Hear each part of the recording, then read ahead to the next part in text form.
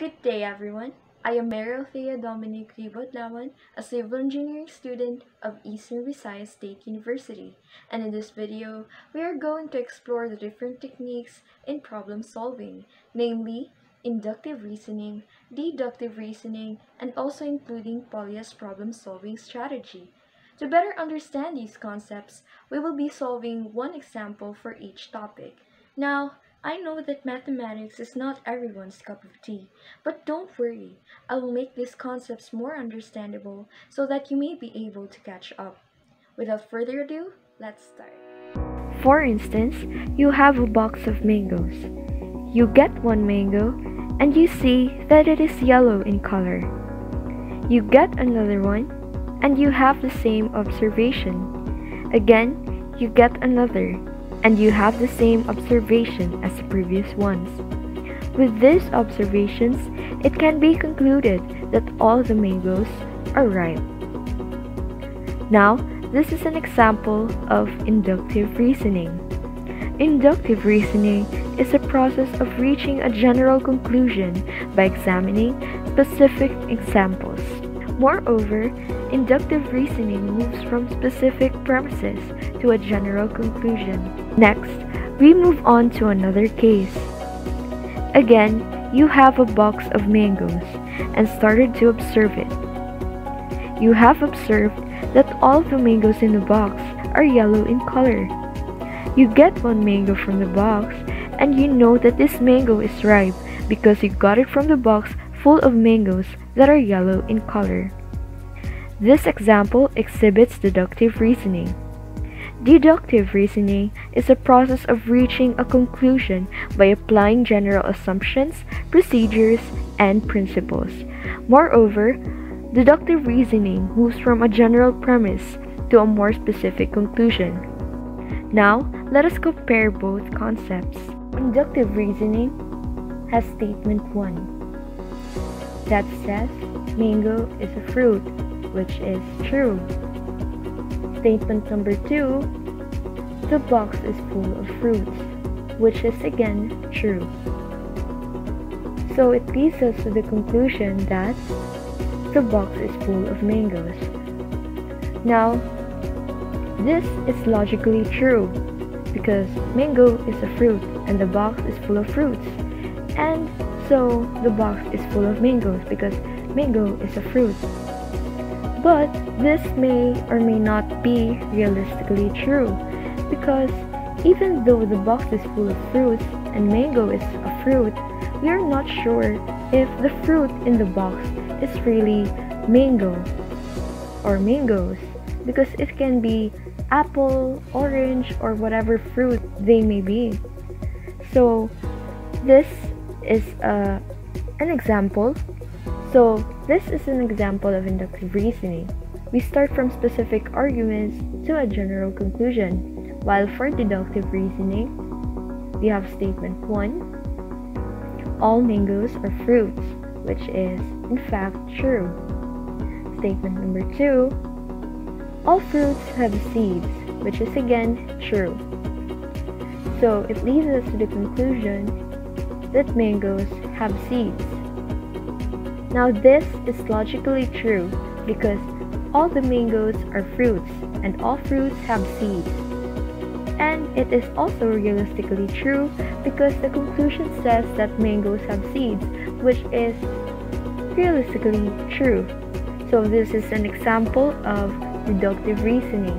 We started from a general conclusion stated by the all here to a specific argument. To better understand these concepts in problem solving, let us try to solve some mathematical problems using these techniques. For deductive reasoning, we have an example. You are tasked to use deductive reasoning to show that the following procedure always produces the number 5.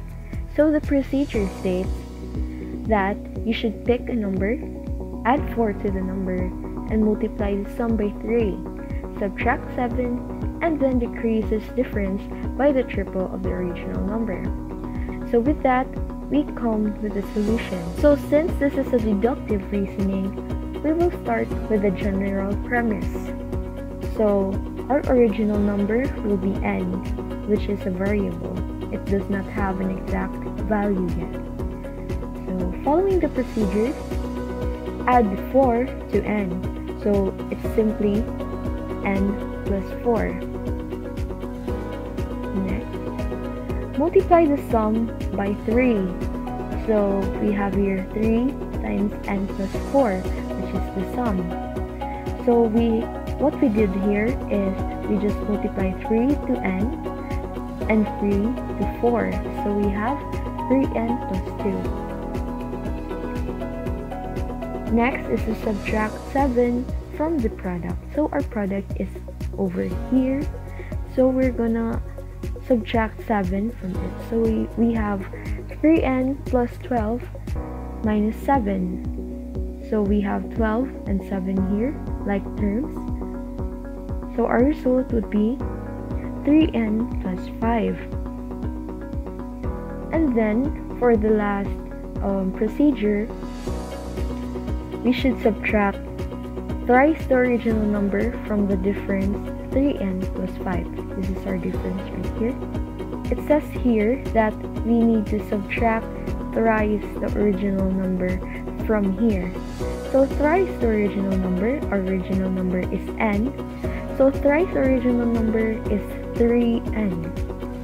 So we have here 3n plus 5 minus 3n. So 3n minus 3n, like this, like this. We only have 5. So our answer would be, so we started with an original number n and ended with 5 following the grouping procedure.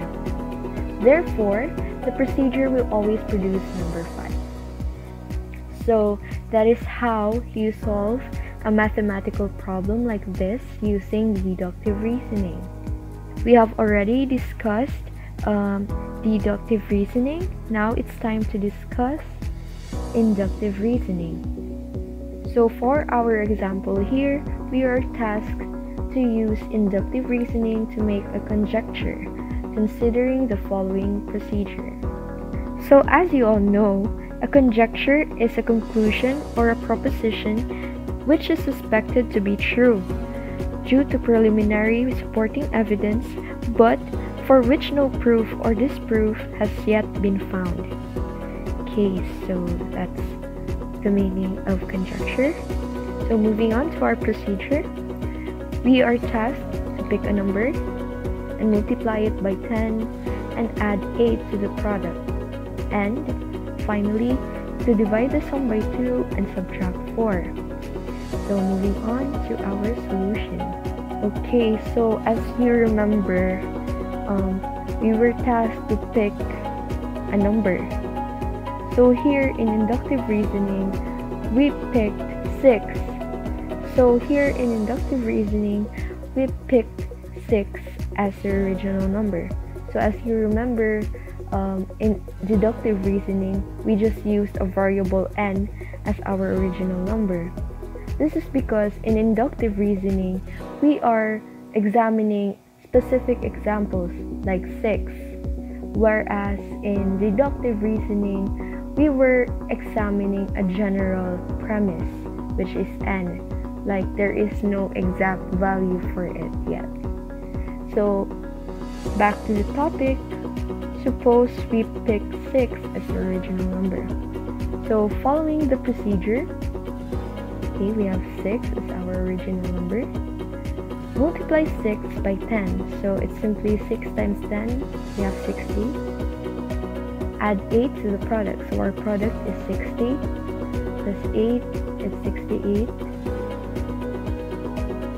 and then we divide the sum by 2 so 68 divided by 2 is 34 and lastly we subtract the quotient by 4 34 so minus 4 is 30 so 30 is our final answer for this procedure when we pick 6 as the original number moving on to the next solution.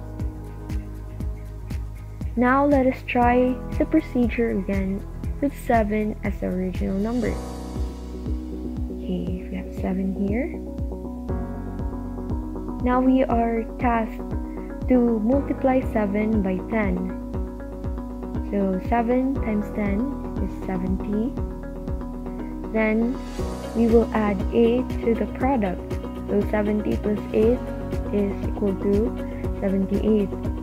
Now we are to divide the sum by 2. So 78 divided by 2 is 39. And lastly, we subtract the quotient by 4. So 39 minus 4 is 35. So based from these results, what conclusion can we draw? So here, we started with 6 and the procedure produces 30. Okay, remember that? On the other hand, when we picked 7 as our original number, the procedure produces 35. Okay, so based on the results in each of these cases, the procedure produces a number that is 5 times the original number.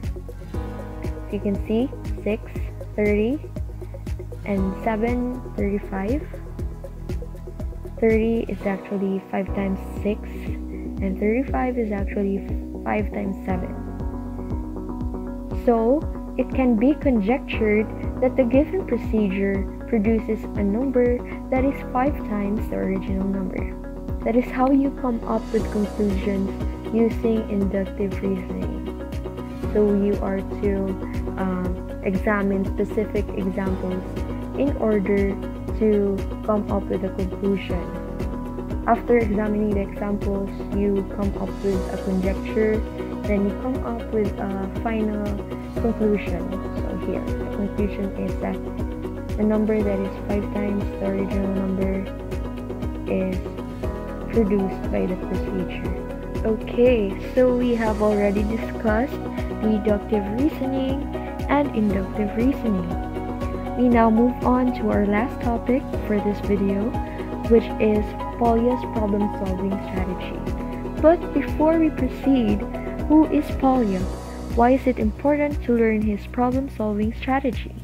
George Polya is one of the foremost recent mathematicians who devoted much of his teaching in helping students become better problem solvers.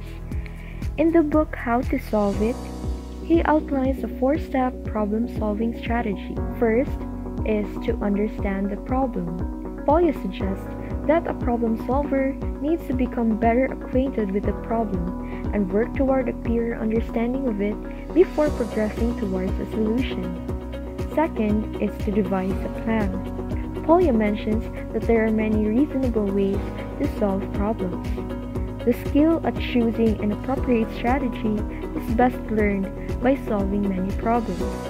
Experience and practice are the best teachers for devising plans. Third is to carry out the plan. The plan gives a general outline of direction.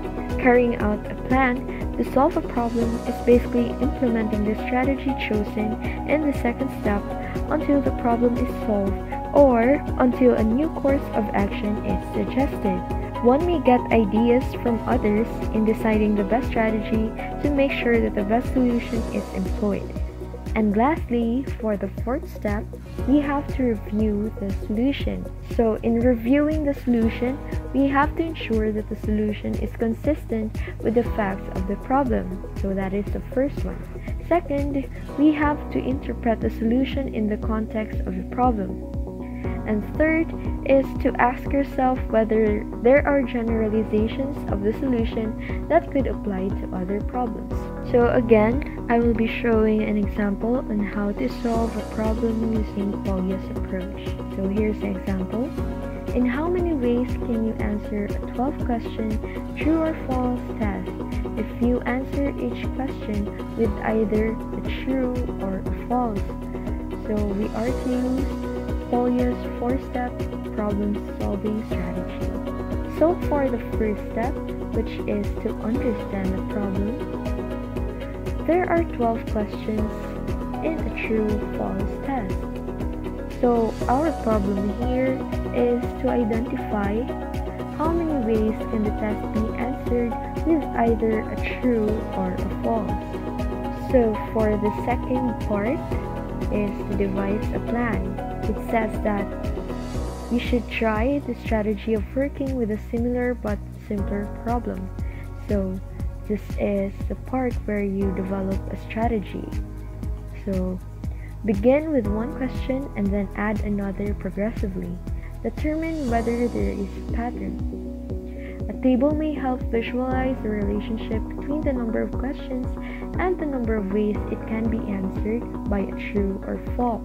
So for the third step is to carry out the plan. So the plan is to make a table to find a pattern. Here is our table right here. On the top part, we have the number of questions and for the bottom part, we have the number of ways on how to answer the questions.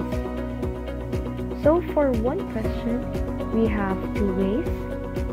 For two questions, we have four ways. And for three questions, we have eight ways. Do you see the pattern now? Okay, so for one question, we only have two ways, true or false. So for two questions, we have four ways. How did that happen?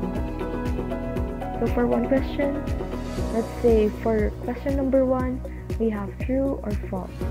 For question number two, we have true or false also. So it can be both true, both false, or true false or false true. So that is why we have four ways right here. And same goes with here.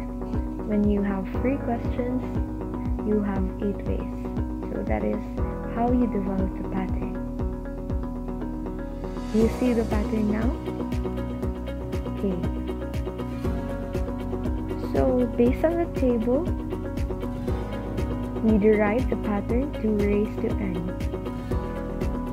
So what does n stand here? So n right here is the number of questions actually.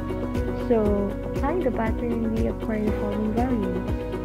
So these first three are our first example back there when we were trying to derive pattern. But as you can see right now, it is 12. So what is our answer? Since we have 12 questions, then our answer would be this. 4096 ways. Okay, so for the next part, it is to review the solution findings. We all know that the questions can only be answered by a true or a false, but it can be observed on the table above, which is, I mean, on the previous slide, that the number of ways to answer the test may vary according to the number of questions, which is true because when we only have one question, we only have two ways to answer it. But when we already have two questions, we now have four ways to answer it. Okay, so thus deriving the pattern to raise to n. Where n represents the choices which is either true or false. We have two choices, true or false. And n represents the number of questions. Okay, so as I have said earlier, I mentioned this earlier if you can remember. Okay, so it leads us to the conclusion that for one question, we have two ways. And as the number of questions increases, the number of ways vary along with the pattern to raise to n. Again, 2 is the choices, are the choices, true or false, and n is the number of questions. Therefore, in a true-false test composed of 12 questions, there are 2 raised to 12 ways, or 4096 ways. Okay, so I guess this concludes our video for today. Thank you so much for staying with me as we dive deeper into the universe of problem solving. I hope you learned a lot on the topics and I hope that I have put mathematics in a better light for you guys. If mathematics is for everyone, then everyone is for mathematics. And the only way to learn math is through continuous practice. Never give up and keep on learning. Again, with utmost gratitude, this is Mary Althea Dominique Ribot Adlawan of BSC 1B.